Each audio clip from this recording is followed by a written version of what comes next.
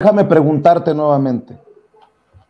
Tú fuiste el reportero, el periodista de proceso al que buscó el ex policía federal Francisco Cañedo Zabaleta, quien ayer confirma en el juicio contra Genaro García Luna haber visto reunido a García Luna con Arturo Beltrán Leiva y la Barbie camino a, Cuernavaca.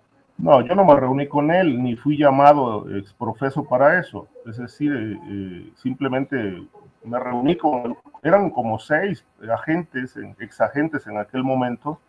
No recuerdo si estaba o no Francisco Cañero. En realidad yo platiqué como con seis exagentes y uno de ellos fue el que aportó, aportó documentos, de quejas, denuncias que habían hecho sobre lo, la situación que estaban viviendo en la Secretaría.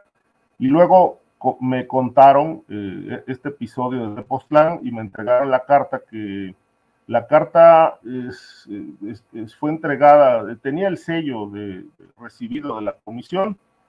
El, el, evento ocurrió en octubre de 2008 y ese reportaje yo lo publiqué en el número 1672 de la revista Proceso en su edición del 16 de noviembre de 2008 y está titulado Vínculos de García Luna, el Mayo.